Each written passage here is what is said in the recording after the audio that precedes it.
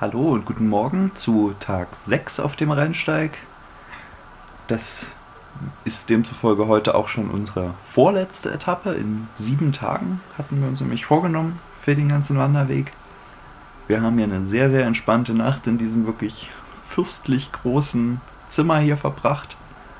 Ähm, ja, haben heute als Ziel, ich muss mal kurz gucken, dass ich es nicht falsch sage, Steinbach am Wald uns vorgenommen. Und die Etappe dahin ist mit etwa 20 Kilometern, ein bisschen mehr vielleicht, auch wieder eine eher kurze heute, bis vielleicht zur Entspannung nach den 30 Kilometern gestern gar nicht so schlecht ist. Zumal wir morgen auch nochmal fast 30 Kilometer dann als Endspurt sozusagen vor uns haben. Ja, aber äh, wie gesagt, ungefähr 20 Kilometer heute bei bestem Wetter, also ich weiß nicht, ob ich gestern schon mal gesagt hätte, dass es der warmste Tag war, das stimmt nicht. Laut Wetterbericht wird es heute nochmal wärmer. Also wirklich an die 30 Grad heute und das ist im Mitte April ja wirklich noch keine Selbstverständlichkeit. Also mit dem Wetter haben wir wirklich so ein Glück gehabt auf dieser Tour. Aber gerade wenn ich so zurückdenke, was wir schon für Wetter hatten, als wir zum Beispiel vor zwei Jahren im, auf dem Hexenstieg gewandert sind, habe ich noch keine Videos gemacht, aber da lag Schnee und Eis noch auf den Wanderwegen. Da haben wir uns, denke ich, auch mal so ein Glück verdient wie dieses Jahr. Wir haben unser Frühstück heute hier hochgebracht bekommen, sogar in den kleinen ähm, Zwischenküchenraum hier oben. Also ganz, ganz toller Service und das sieht doch wirklich fantastisch aus. So, und zurück zum Rennsteig kommen wir heute direkt durch den Garten von unserer Unterkunft.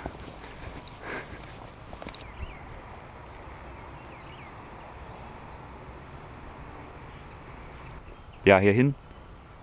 Hier hinter dem Haus ist jetzt so eine größere Wiese und hier am Waldrand wäre eigentlich der Verlauf des Rennsteigs gewesen.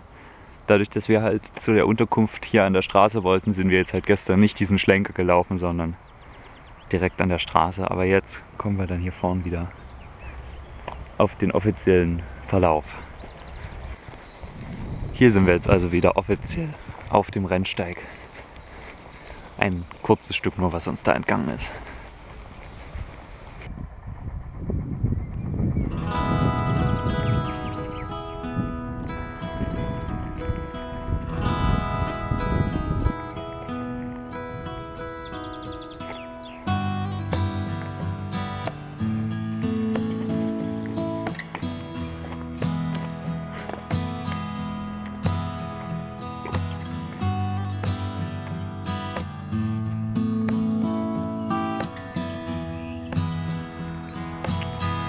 Hier jetzt das Denkmal des Thüringer Wintersports.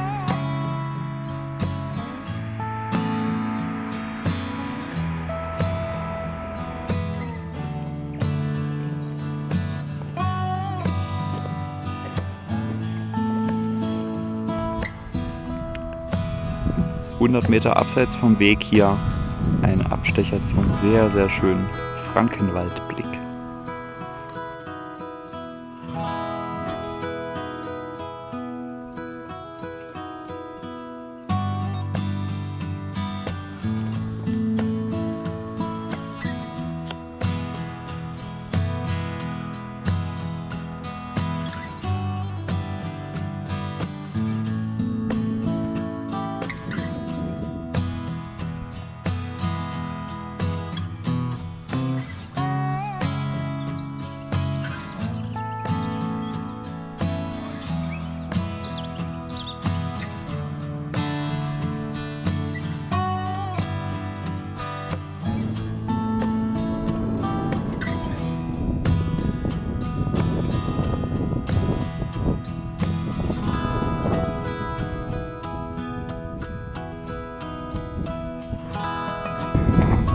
Kommen jetzt hier gleich nach Spechtsbrunn, dieses kleine Dörfchen im Tal.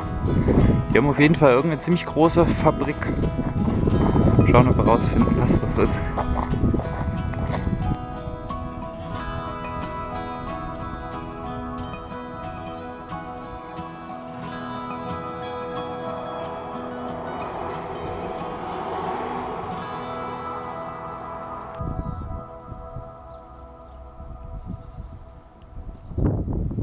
Wir laufen jetzt hier hinter dieser Fabrik vorbei wo wir mittlerweile herausgefunden haben, dass dort Kunststoff hergestellt wird oder geformt wird.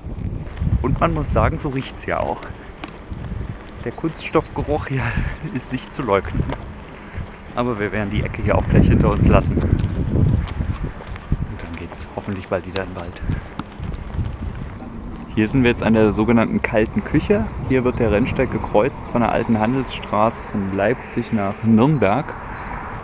Und hier ist jetzt heute so ein Imbiss und so ein Naturpark-Informationszentrum oder sowas. Ja, und hier auf diesem einladenden Imbiss oder an diesem einladenden Imbiss werden wir uns jetzt mal ein Eis schmecken lassen.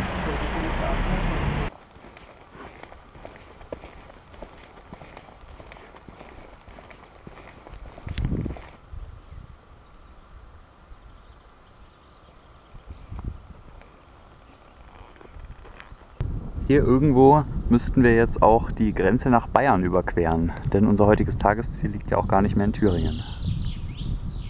Ich weiß nicht, ob man sich das nur einbildet, weil es auf den Schildern steht, aber irgendwie wirkt die ganze Landschaft auch plötzlich ein bisschen bayerischer, habe ich das Gefühl hier. Man kommt jetzt immer mal an Kuhweiden vorbei und immer mal wieder so eine Lichtung mit einer, mit so einer, ja, wie so eine Bergwiese fast schon hier im Wald. Aber es ist durchaus abwechslungsreich und unterstreicht mal wieder wirklich diesen, ja, eben sehr abwechslungsreichen Charakter des Rennsteigs, den wir ja doch kennengelernt haben in den letzten Etappen. Das Einzige, was etwas stört, wir laufen jetzt schon mit kleinen Unterbrechungen schon seit dem Imbiss, wo wir Eis gegessen haben, auf Asphalt. Ich hoffe, das hört dann mal wieder auf. Das ist jetzt nicht ganz so schön.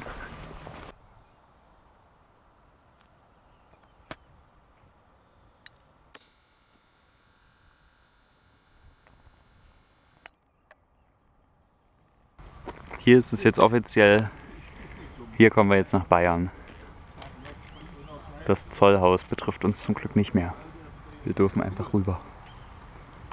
So, hier sind wir jetzt an der Stelle, wo man zwei Möglichkeiten hat, auf dem Rennsteig zu wandern. Einmal hier geradeaus mit dem weißen R markiert der ursprüngliche Verlauf entlang der vielbefahrenen Frankenwald-Hochstraße. Da wir heute genug Zeit haben, werden wir der blauen Alternative nach links folgen. Die ist ein oder zwei Kilometer länger, verläuft aber dafür ruhig im Wald. Folgt jetzt nicht dem historischen Verlauf, aber ist dafür wohl der schönere Wanderweg.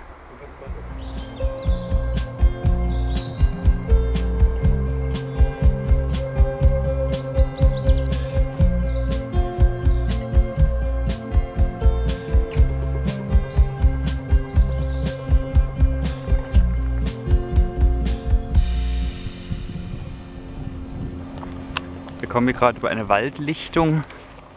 Die ist wohl durch den Sturm Kyrill vor einigen Jahren hier geschlagen worden. Man sieht jetzt so, wie langsam sich das hier kleine Bäumchen wieder zurückholen, die freie Fläche. Aber die Spuren hier noch deutlich zu sehen. Wir sind jetzt hier am Rastplatz am Roten Turm. Das war ursprünglich wohl mal ein Jagdsammelplatz. Und ja, ein Turm stand hier aber, glaube ich, nie wirklich. Es gibt hier nur diesen roten Baumpfahl. Und hier ist auch ein schattiger Rastplatz und den nutzen wir jetzt heute mal wieder für unsere Mittagspause. Wir machen uns heute mal wieder Reis und dazu gibt es dann mal wieder eine Konserve mit Fleisch und noch ein bisschen Ketchup. Den wollen wir nicht zum Spaß mitgeschleppt haben die ganze Zeit. Aber man sieht, wir haben schon auch gut dran gearbeitet. Dafür, dass wir die erst vor drei Tagen oder so gekauft haben. Zwei Tagen? Zwei Tagen. So, nachdem wir wahrscheinlich die letzte selbstgekochte Mahlzeit auf unserer Wanderung gerade verputzt haben, werden wir uns jetzt auf die letzten Kilometer nach Steinbach machen. Wir haben uns, denke ich, jetzt entschieden, dass wir auf dem Alternativweg bleiben. In meinem Wanderführer wird ab jetzt empfohlen, aus Kilometergründen sozusagen auf den, auf den Weg an der Straße zu wechseln. Aber uns ist der ein bis zwei Kilometer Umweg relativ egal, da es erst 13 Uhr ist und wir nur noch vier bis fünf Kilometer ungefähr haben. Deshalb werden wir die längere Route, die aber hoffentlich schöner ist, jetzt gehen. Kurze Korrektur, ich hatte vor uns gesagt, es ist 13 Uhr, das stimmt nicht, wir sind 14 Uhr weitergelaufen. Aber auch das ist, denke ich, noch ganz amtlich dafür, dass wir bald das Ende unserer Etappe erreichen. Und ja, wir sind jetzt wie gesagt immer noch auf der Alternative und im Gegensatz zu der ersten Hälfte davon, die ja doch recht unwegsam zum Teil war. Also da waren viele Spuren von Forstarbeiten noch zu sehen, Holzreste und breite Reifenspuren und sowas. Ist natürlich super, dass der Weg freigeräumt wurde. Er war auch gut zu begehen, aber teilweise eben, also ja, etwas unwegsam. Jetzt sind das hier wieder so breite, äh, ja, große Forstwege eben, auf denen man auch ziemlich schnell vorankommt. Und halt auch immer leicht bergab.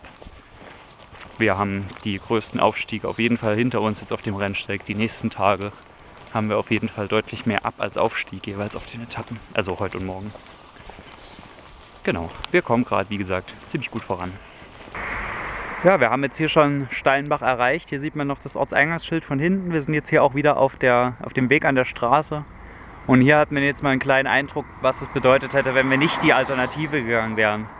Also hier der Asphalt, Fuß-Radweg direkt an der Straße. Und ich denke, da haben wir alles richtig gemacht. Ja, und hier sehen wir jetzt schon den Kreisverkehr und den kleinen Kirchturm da von Steinbach. Und ganz in der Nähe hier müsste sich auch unsere Unterkunft für heute befinden.